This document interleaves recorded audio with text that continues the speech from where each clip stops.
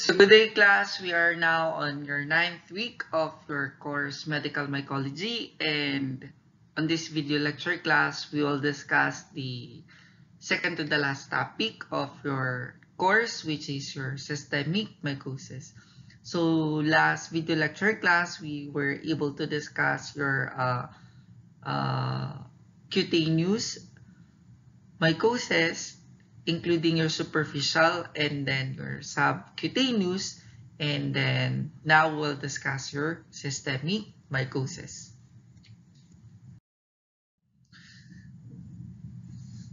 So for agents of your systemic mycosis class, you can refer the book Mahon Class Table 27.6 that summarizes your systemic mycosis.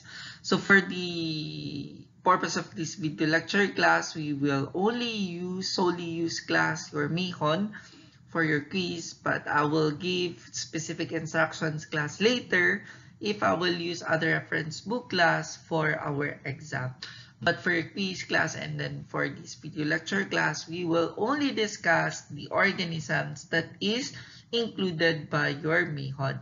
And by Mahon class, apat yung uh, organisms or fungal agents sa kalatin. And i-discuss and that includes your Blastomyces dermatitidis, Histoplasma capsulatum, Coccidioides initis, CI, and Paracoccidioides brasiliensis class.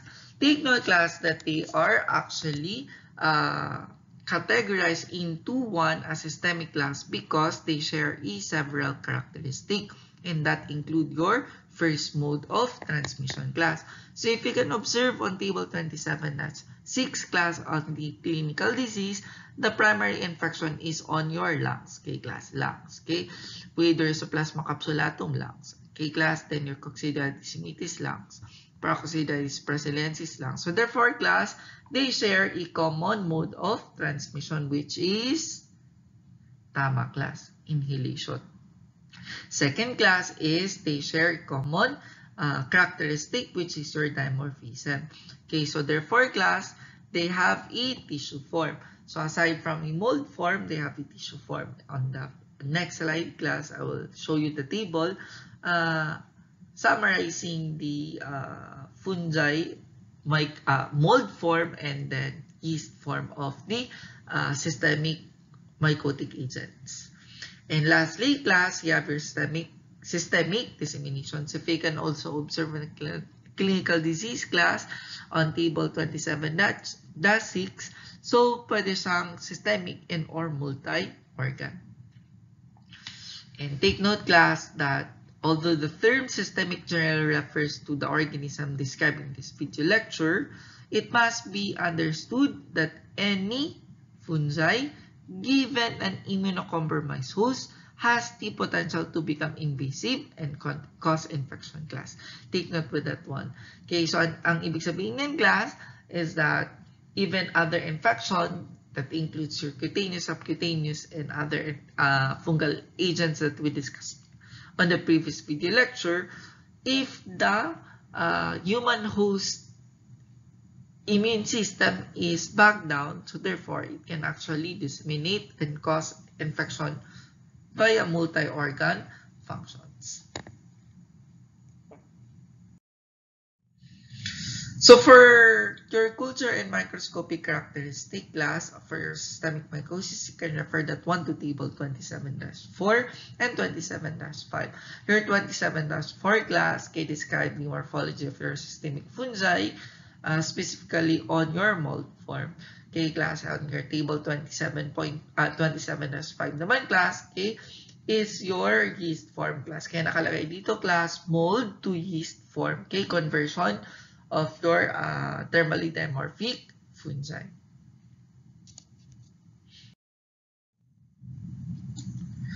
So we will discuss our first systemic mycosis and that is your Blastomyces dermatitidis class. Other name, you have your Gilchrist disease, North American blastomycosis, and Chicago disease. So take note class that on systemic mycosis, majority of the name of their diseases is with location. Bakit class? Kasi your systemic mycosis class are geographically restricted. So, sa ano ibig sabihin ng ge geographically restricted, sir?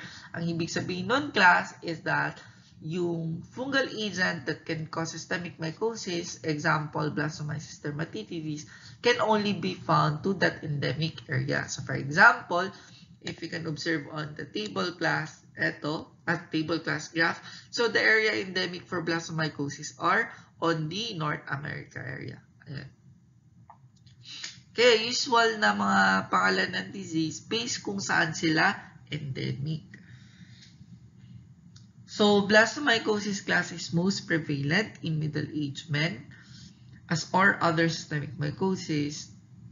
Kung itatanong nyo to class, sabi ni Mayhon, presumptively because of men's greater occupational and recreational exposure to the soil. So, ang ibig sabihin class, majority of the men work uh, have a direct contact to soil. For clinical manifestation class, it, it will exhibit the flu-like symptoms with the pulmonary disease. As we discussed that the uh, mode of transmission of systemic mycosis class, including your Blastomyces dermatitis, is by inhalation. So therefore, yung unang clinical manifestation class is a flu-like symptoms. Then progressive pulmonary or invasive disease may follow, resulting to ulcerative lesion of the skin and bone. And I will show you the picture class later on your uh, later on the next slides.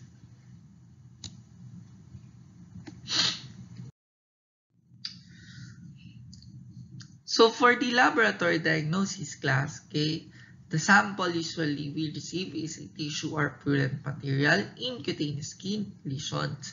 So for culture at 22 degrees Celsius, the organism can provide a variety of colony morphologies and that include white, tan, or brown and may be flappy to glabrous. If you can observe on the picture.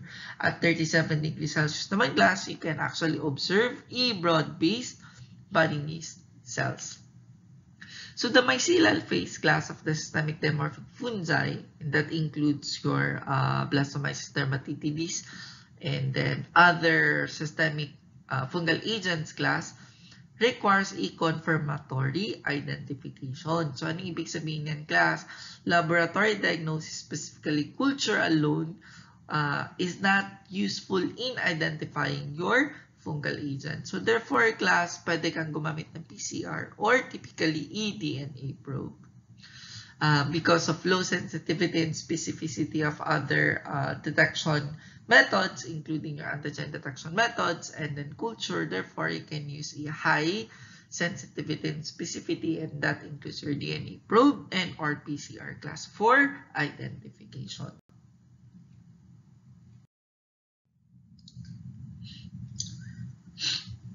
So for the microscopic characteristic class K, the plasmamycosis dermatitis will show a large spherical refractal yeast if you can observe on the picture class with a size of 8 to 15 micrometer with the double con contoured wall and buds connected by E broad base. If you can observe your class, ito yung budding na form. Sorry class, budding na form. Okay, yan yung budding na form class. Yan.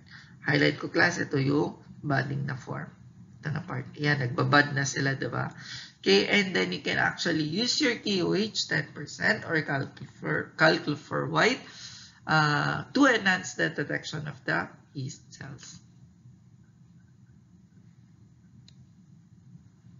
Uh, in the mold phase, Conidia are, are born on a short lateral branches that are ovoid to dumbbell shape and vary in diameter from 2 to 10 micrometers. So, ito yung nabanggit ko kanina class with the clinical manifestation sa skin. So, you can observe this one. This is the skin infection class. Second class, ito, this is a chest x-ray showing a cavity on the uh, upper lobe of your uh, lung. So, Pagdating naman sa hospital class, ang una namang talagang binibigay ng doktor is x-ray. So, para makita natin kung anong meron. So, syempre, kung lower lobe yung affected, for sure, hindi siya fungal. Pwede siyang lobar pneumonia, septococcus pneumonia, Klebsiella pneumonia, uh, hindi pwedeng Mycobacterium tuberculosis kasi apex. So, pag nandito sa taas, yung spot class, apical spots, Mycobacterium tuberculosis. Pag lower, pwedeng Streptococcus pneumoniae, lobar pneumonia. Kaya siya andun sa lower part. Pagdating naman kay blastomyces, blastomyces dermatitis class, upper lobe naman yung affected na merong vacuoles. Ayan. Pag hindi siya klaro class, ayan. So, for example, baguhan yung physician or hindi naman talaga siya uh, expert with the infectious disease, then the physician can actually request ECT. Ayan, class, with the CT. Kasi class, pwede na makita yung cavity of the disease. Ito, kita nyo to class. Ito yung cavity of your disease class. And then, on this one class, okay, di ba naaral na natin to class? Ito yung stain. Okay, familiar, tingin nyo anong stain to class. Tama class, that is your gomorimethalamine kay silver nitrate stain. Kay bakit class? Kasi yung background niya ay green class tapos yung color of your fungal elements naman niya class is black. Yan. Balik tayo sa microscopic characteristic class. For the microscopic characteristic class, the telomorph or sexual form of your blastomyces dermatitis class is your agelomyces dermatitis. It occurs only in uh, rigidly controlled environment class. So therefore, not very common pagdating si laboratory. Take note then class that the species is heterotalic. Paki-highlight class, heterotalic. Sir, ano ibig sabihin ng heterotalic? Ang ibig sabihin ng heterotalic class is that hindi siya pwedeng magsariling sikap para mag-produce. So, kailangan niya ng partner.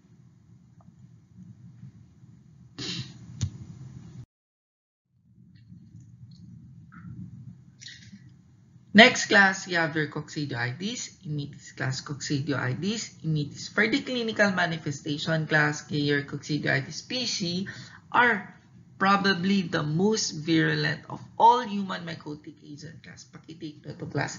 So, in relation with this one class, kung itatanong sa quiz or itatanong sa exam class, time lang tayo, baka lumabas.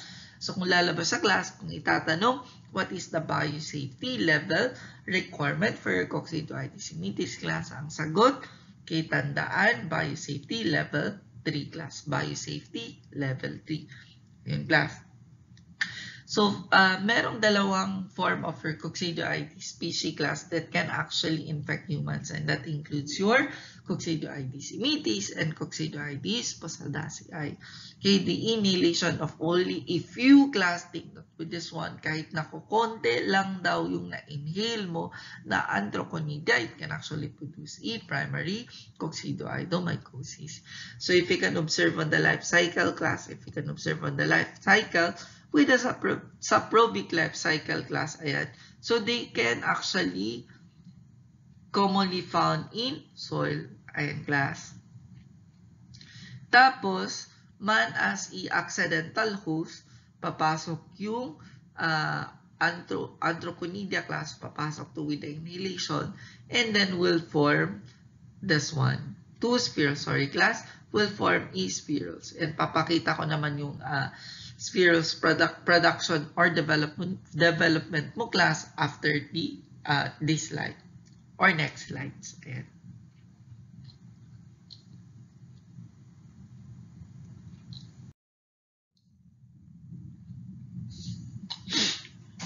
So for the clinical manifestation, gas includes asymptomatic pulmonary disease and allergic manifestation. So for the allergic manifestation, class, it can manifest, K class, it can manifest uh, as toxic erythema, para siyang ganito class, or erythema nodosum, or erythema multiforme. And then with the systemic class, it can actually go and uh, actually uh, cause arthritis.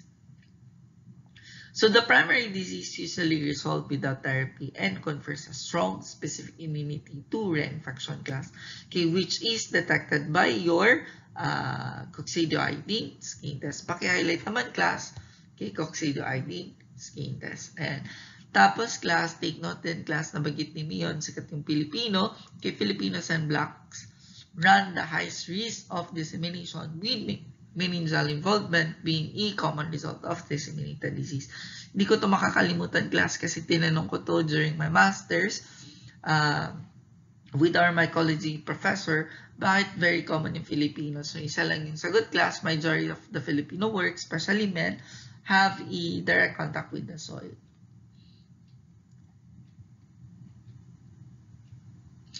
So, in symptomatic patient class, kay very common naman yung mga symptoms sa class and that includes fever, respiratory distress, cough, anorexia, headache, mali, and myalgia, and can manifest class 6 weeks or longer. So, take note with that one class up. So that your coccidioides immitis can actually cause a uh, longer clinical manifestations. The disease might then progress to secondary uh, infection, which can include nodules, cavity, uh, nodules or cavity on the lung disease, and or progressive pulmonary disease. So after inhalation class, the barrel-shaped anthraconedia, okay, class high. Ito yung anthraconedia natin, class round up as they convert to spherules. Ito naman yung spherules class. Okay, spherules actually contains your endospores. Okay, ito yung nare-release natin class. Okay, yung uh, process kung saan nako-convert yung anthraconedia natin class to spherules, ang tawag din class is progressive cleavage. So, progressive cleavage class, ibig sabihin, progressive siya na nakikleave. Okay, if you can observe from this one, Ayan, unang yung cleavage siya with your uh, uh, spheral septation. The next is your uh, segmentation and then endosporulation. Ayan, class K. This is the process called your progressive cleavage, class K. Then rupture of your spheral wall releases your endospores into the bloodstream and surrounding tissues. Kaya, uh, nagiging systemic sa class.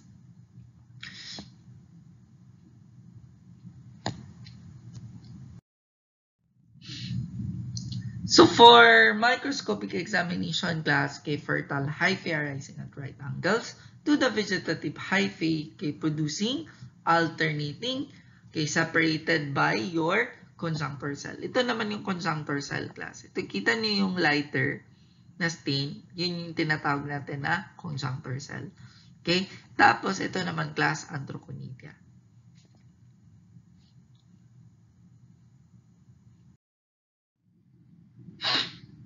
For culture characteristic class, within 3 to 4 days, uh, the colony produce white to gray, moist, and glabrous. Okay, colonies rapidly develop abundant aerial mycelia class. If you can observe this one, ito yun sa class air, air, uh, abundant aerial mycelia. Other references class uh, describe this one as a cottony mycelia class. Uh, in infectious disease class, Pagdating nito, pag sa laboratory, usual di ba ang ginagamit natin na plate ganito. Kasi hindi naman natin alam na ang organism may coccidioides immitis. So pag may makita tayong ganito class, do not try to attempt to open the plate. Bakit class? Kasi pag na-open natin yan, the anthraconedia will uh, be released and then konti or isa lang na anthraconedia na ma-inhale mo class can actually cause infection. Kaya class, pagdating sa BSL-3, yung ginagamit natin na plate is cell culture plate para ma-secure. Kukonte lang yung mouth na ganito class. Ayun. Okay? Okay, next class, you have your histoplasma capsulatum class. Histoplasma capsulatum. Okay, other name class, you have your reticulo, reticulo endothelial cytomycosis. We also have your cave disease, spelunker's disease, and Darling's disease class. Okay, for clinical manifestation, histoplasmosis is acquired by inhalation class of the microconidia of your histoplasma capsulatum var capsulatum class. Highlight na lang din natin class na naka-var siya. Later class, I will uh, give other two examples of your uh, variety of your histoplasma capsulatum. So the microconidia class are phagocytized by macrophage in the pulmonary uh, parenchyma. Yun yung problema class kasi pag uh, kinain siya ng macrophage mode, the histoplasma capsulatum can actually survive inside. So in the mild form, viable organisms remain the host and are presumed a source of reactivation. So sa ano ibig sabihin? So ang ibig sabihin ng class because histoplasma capsulatum are intracellular, ang ibig sabihin ng class they cannot actually be detected by other uh, immune system defense cells. So pag hindi sila ma-detect class, they can actually live longer to your macrophage class. And then after that one class, pag mahina na yung katawan mo with your immune system, then they can be reactivated. So in the host with intact immune defense class, the infection is limited. Yun yung sabi ko kanina class. And actually, uh, can be asymptomatic class, with the only sequelae being uh, areas of calcification in the lung, liver, and spleen. So, pa may possibility then class that the mild form of this one can actually uh, proceed to chronic pulmonary histoplasm histoplasmosis in patient with chronic obstructive pulmonary disease. So again, class, uh, your histoplasmo uh, histoplasmosis, the mode of infection is uh, inhalation. Yun yung hindi mahirap sa systemic class. Bakit? Kasi lahat ng uh, uh, mode of transmission is inhalation.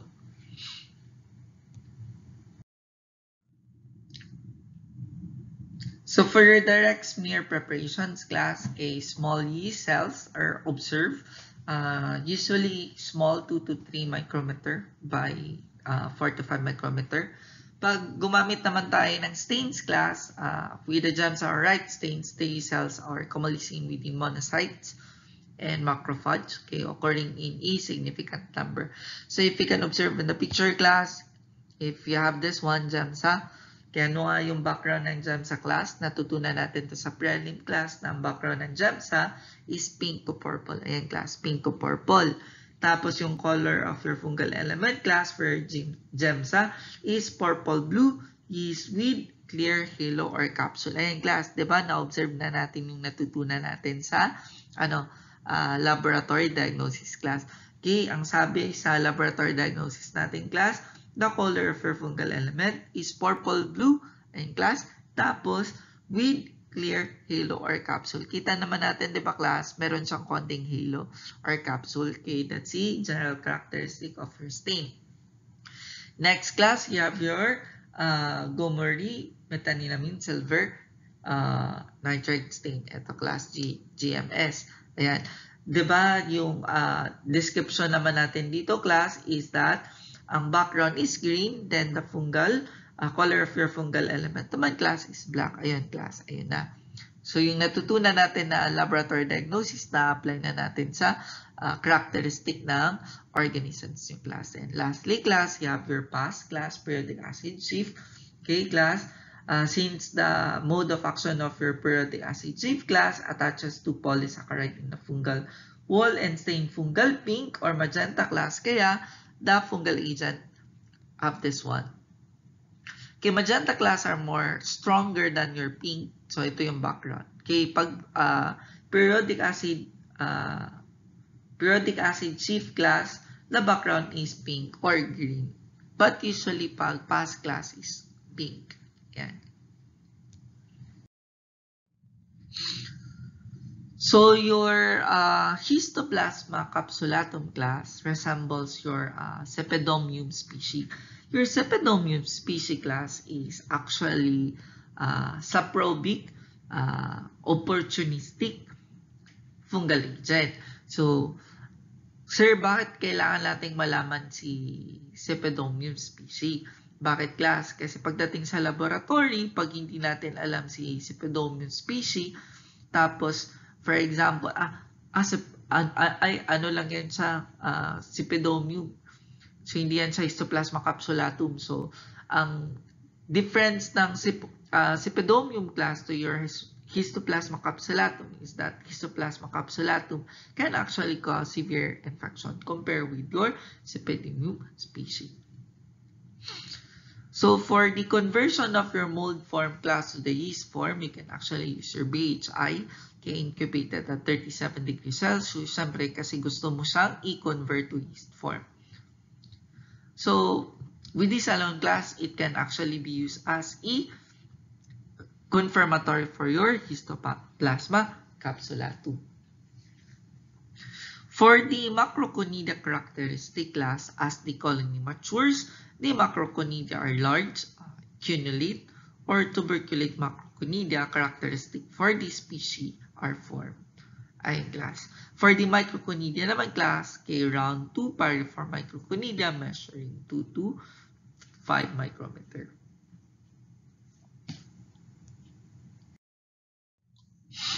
For the laboratory diagnosis class, direct antigen detection and sero serologic procedures for the diagnosis of histoplasmosis might be adjunct to culture method. So, sir, anong ibig sabihin ng adjunct to culture method? Usually, usually class, uh, the culture method will never be enough pagdating sa clinical kasi very subjective siya class in terms of medtech. So, therefore, it should be uh, coupled with uh, other laboratory diagnosis and that includes uh, your enzyme immunoassay or your AIA. Okay, for the AIA class, they will identify antigen at antibody class. Paki-take note, paki-highlight class. Highlight na lang din natin class. Antigen. Okay, hindi antibody yung dinedetect natin class ha? Antigen. Antigen saan class? Sa specimen that includes your blood, CSF, at saka urine class. Okay, but usually yung ginagamit nila nila class na sample is urine kasi uh, madaling i-collect in class. So, if you can observe on this one class, ang dinidetect natin is antigen. Ayan, naka-sandwich sa class. Okay, tapos meron tayong antihistoplasma IgG antibody, didikit si, uh, kakabit si antigen na galing sa sample. Tapos, meron tayong secondary na antibody class. You have your antihistoplasma IgG antibody that carries your biotin And then you have your streptomycin HRP label na uh, pag uh, dumikit si TMB class will produce a color. I will not actually explain too much on this one class because your serology teachers will explain the principle of your AIA class. The most useful serologic application for the diagnosis of histoplasmosis class, paki-take note, is a combination of her complement, fixation, and immunodeficient tests.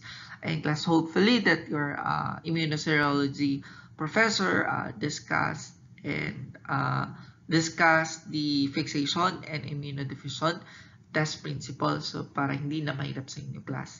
And which rising titers in seral dilution are considered significant.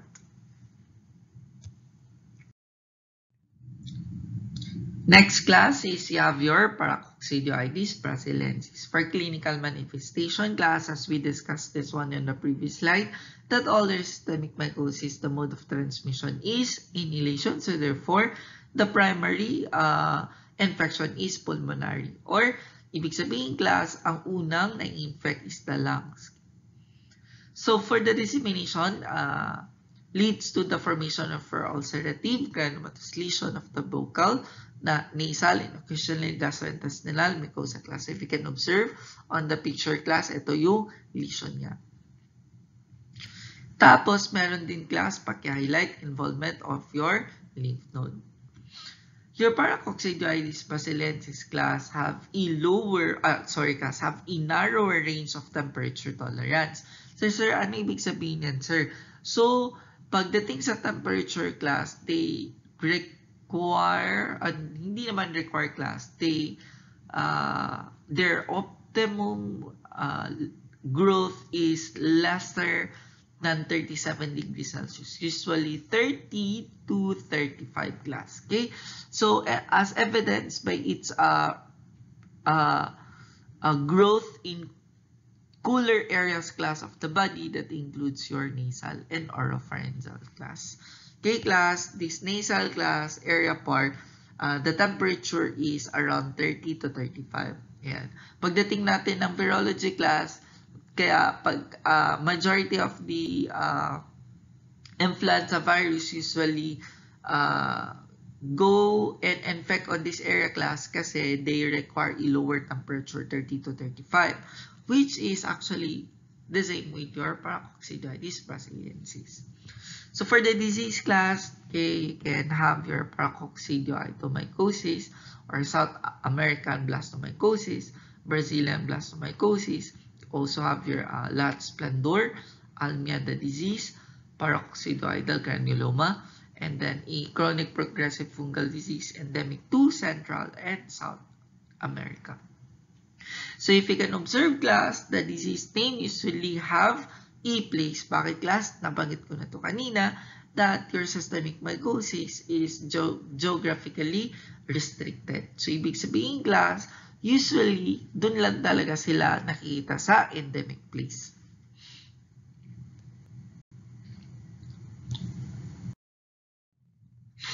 For the direct microscopic examination, glass of your and mucosal lesion demonstrate the characteristic of your yeast cells. For the hallmark characteristic class, paki-highlight naman ang hallmark characteristic class, you have your multipolar budding of the uh, periphery class resembling mar mariner's wheels. Ito class, mariner's wheels. Ayan. Okay, tandaan to class kasi ilang ulit na din itong lumabas sa board exam board, board exam. Ano daw yung may hallmark characteristic na Mariner's disease? Huwag kakalimutan class, Paracoccidioides brasiliensis.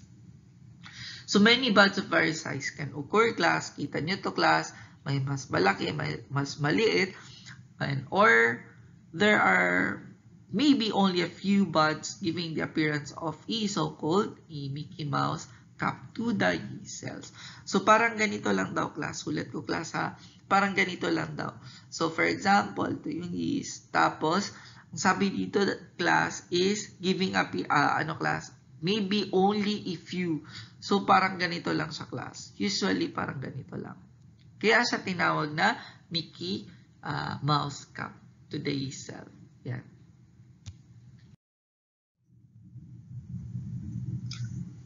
For culture characteristic class at 22 degrees Celsius, K. Paracoccidioides brasilensis producing colonies that have glabrous to leathery and then wrinkled to folded. So if you can observe on the picture class, this one is very typical to your Paracoccidioides brasilensis class. However, class, yung problema natin is that they are actually commonly mistaken for your uh, blastomyces dermatitis. Bakit class? Because both of the two, take note class, both of the two Paracoccidioides brasiliensis class at saka uh, blastomyces dermatitis class in a reverse plate, they have a yellowish brown. Paki-highlight class, they have a yellowish brown reverse plate. For the microscopic characteristic class, small K1-celled conidia generally indistinguishable from those observed with the mold phase of your uh, blastomyces dermatitis or the microconidia of your histoplasma capsulatum. Therefore, class for the microscopic characteristic, hindi siya helpful pagdating sa identification of your Paracoccidioides brasiliensis. Lastly, class, you have your Penicillium marnifiai. Okay, for clinical manifestation class, Penicillium marnifiai is unique. Take note class is unique packet class and under your Penicillium family class, si Penicillium mar marnifiai lang ang dimorphic class. So if you can observe class, this is a characteristic of Penicillium marnifiai at 30 or lower temperature compared with this one at 37 degrees Celsius. So if you are a uh, amateur microscopist class, okay, you will misidentify your Penicillium marnifiai with your uh, Aspergillus species because they have almost the same characteristic class. Ayan. So your Penicillium marnifiai class is a common cause of your systemic infection in immunocompromised patients who have visited the endemic region of your Southeast Asia. Infections are usually disseminated class with multiple organ involvement. Take third class, paki-highlight na lang din class that your Penicillium marnifiai class, it is the only pathogen in the genus. So therefore, class, other Penicillium species, they they are sapro, saprobi class. Okay, the fungus can be isolated from cutaneous lesions which are frequently present in infected patient class. For laboratory diagnosis class, you have your right stain smear. The cells resemble those of Histoplasma capsulatum class and if you can observe on the picture class, okay, uh, with the oval 2 cylindric measuring 3 to 6 micrometer long and we have a cross wall. So with the cross wall naman class, ito clear naman siya dito. Yan. Yan apart. Okay?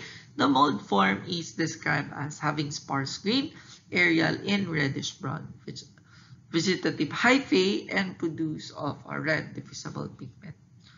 And then since uh, Penicillium marnifii is somewhat similar to your Aspergillus class, polymerase chain reaction tests have been described for identification and confirmation. So we are done with your systemic mycosis class. So I hope that you uh, learned something with this video lecture.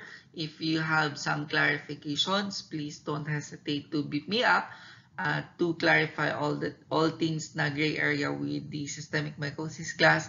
And then for the preparation of your quiz, please only study your mihon para uh, uh, narrowed lang yung uh, pag-study natin class. Ayun, isang reference lang muna para hindi siya mabigat. And then, I found it too difficult to actually include other references pagdating sa video lecture because uh, Mihon and then Baileys have also uh, conflicting datas.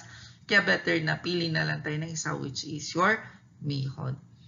Okay class, so uh, good luck with your quiz and then uh, we'll discuss your last topic for your mycology which is your opportunistic uh, mycosis on the uh, next video lecture. Bye class.